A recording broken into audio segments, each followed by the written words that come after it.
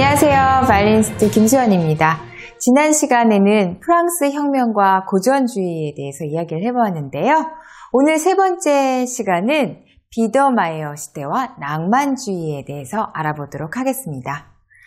낭만주의의 로망스는 프랑스의 몽환적이고 자유로운 소설인 로망에서 그 어원을 가져왔는데요.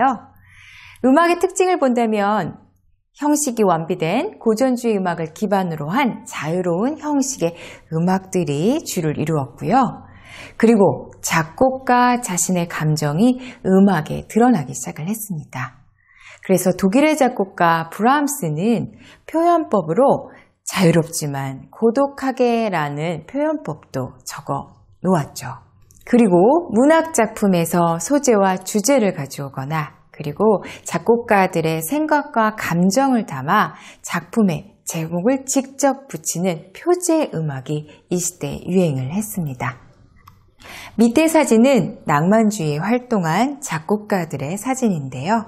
우선 왼쪽에서부터 여러분 잘 아시는 한여름밤의 꿈, 그리고 이탈리아 교향곡을 작곡한 멘데스존, 그리고 두 번째 작곡가는 어린이 정경, 트로이메라이, 여러분 잘 아시죠? 를 작곡한 슈만, 그리고 세 번째는 헝가리 무곡 등을 작곡한 브람스, 그리고 바로 옆에는 가곡의 왕이라고 불리우는 슈베르트, 그리고 마지막에는 호두깎이 인형 백조의 호수를 작곡한 러시아 작곡가 차이콥스키가 이 시대를 살다 갔습니다. 나폴레옹 황제가 유럽 여러 나라를 무력으로 침탈을 하다 보니 1814년에서 15년에 빈 회의 의장으로 메테르니히가 취임을 하면서 나폴레옹 1세를 견제하기 시작을 합니다. 프랑스, 러시아, 오스트리아, 프로이센 이렇게 신성 동맹을 맺으면서 프랑스 대혁명의 정신과 자유 정신에 반하는 반혁명의 시기가 찾아오를 때요. 그래서 프랑스 대혁명 때 잠시 주춤했던 절대 왕정이 다시 부활을 하고 사람들의 말과 행동을 검열하는 검열의 시대 그리고 민족주의와 민주주의 운동을 탄압을 하기 시작을 합니다. 그러니 사람들은 얼마나 혼란했겠어요. 자유로운 생활을 하다가 갑자기 정치적인 압박이 찾아옵니다. 그래서 이 시기에 무려 30년 동안 유럽에서 유행했던 문화의 양식이 있습니다. 바로 비더마이어 시대인데요. 우선 그 뜻을 알아보면 비더, 독일말로 정직한, 성실한, 고루한이라는 뜻을 가졌고 그리고 마이어는 독일의 가장 흔한 남자 이름이었습니다. 그러니까 우리나라 같으면은 뭐 영수, 철수, 네, 이런 이름이라고 생각하시면 될 것 같아요. 이런 비더마이어 시대가 찾아왔는데요. 평범한 소시민적 삶을 추구했던 시기이고 조촐한 개인의 생활 양식에 몰두를 했죠. 그래서 이때 신앙송을 하거나 편지를 쓰거나 그리고 악기들을 배워서 서로 같이 연주를 하거나 이런 취미 생활을 즐겼습니다. 강제로 강요된 평화의 시대에 이때 때 가장 유행했던 음악 장르는 실내악, 여러 사람이 조그마한 공간에서 함께 연주하는 연주 형태와 그리고 시와 노래가 함께하는 가곡이 크나큰 발전을 이루었죠. 이 비더마이어 시대에 가장 유행했던 음악회가 있습니다. 바로 가정음악회인데요. 가정음악회는 말 뜻대로 집 안에서 이루어지는 음악회인데 한 가족이 저녁 식사를 마치고 부모님이 소파에 앉아 계시면 그 앞에 아이들이 나와서 시를 낭송하거나 피아노를 치거나 노래를 부르거나 하는 음악회가 가정음악회였습니다. 좀 넓히면 집에 뭐 좀 젊은 유망한 시인을 초청을 하거나 아니면 음악가들을 초청해서 음악회를 벌렸죠. 자, 이 가정음악회에 떠오르는 슈퍼스타가 있었습니다.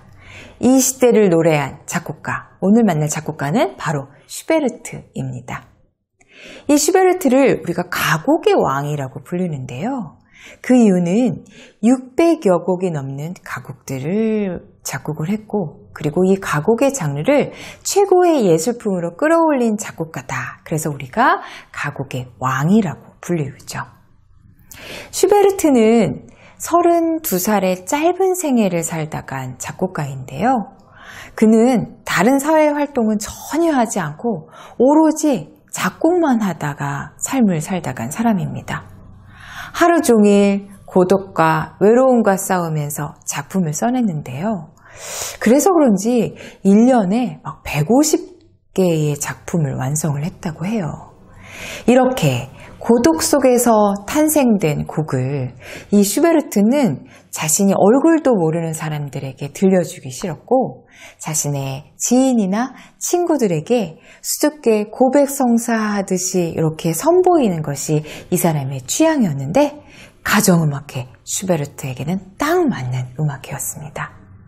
그래서 하루 종일 작곡한 곡을 매일 밤 어느 집에서 슈베르트는 연주를 하였는데요. 그래서 슈베르트가 연주하는 가정음악회는 이름이 붙였습니다. 바로 슈베르티아데라는 친목 모임이었죠. 이 슈베르티아데의 구성원은 그 당시에 시인, 그리고 예술가, 소설가, 이런 사람들이 함께 했는데요. 이 슈베르티아데는 슈베르트에게 상당히 크나큰 영향을 끼쳤죠. 18살, 어느 날 밤에 슈베르트가 작곡한 가곡 마왕을 듣고 이 슈베르티아데 사람들은 야 이거 우리만 들으면 안 돼. 이거는 세상에 알려줘야 돼. 라고 하면서 이 곡을 출판을 해주면서 슈베르트는 드디어 세상에 알려지게 되었습니다. 슈베르트의 음악을 이렇게 정리를 하면 허상의 시대로부터 내면으로의 도피, 그 안에서 피어난 예술적 자유를 음악에 표현했던 사람이고 바로 이 정신은 낭만주의의 기본 정신이 되었죠. 슈베르트의 많은 작품들 중에서 오늘은 두 개의 작품을 여러분에게 소개해드리고 싶습니다. 첫 번째는 24개의 연가곡으로 된 겨울 나그네인데요. 슈베르트가 죽기 1년 전에 작곡이 되었는데 자신의 죽음을 예감한 것인지 작품 속에서 고독과 외로움 그리고 절망감이 사무치게 느껴지는 곡입니다. 한 젊은 방랑하는 방랑자의 이야기를 담은 작품인데요. 두 번째 작품은 가곡 죽음과 소녀의 선율을 사용한 현악 사중주입니다. 슈베르트의 최고의 작품으로도 평가받고 있는데요. 슈베르트는 자신의 고통과 아픔을 작품 속에서 표현하면서 지금까지도 그의 음악을 들으면 그렇게 감동과 그리고 아름다움을 우리는 느낄 수 있습니다. 오늘의 연주곡은 슈베르트의 겨울 나그네 중 보리수 준비했습니다. 한번 들어보실게요.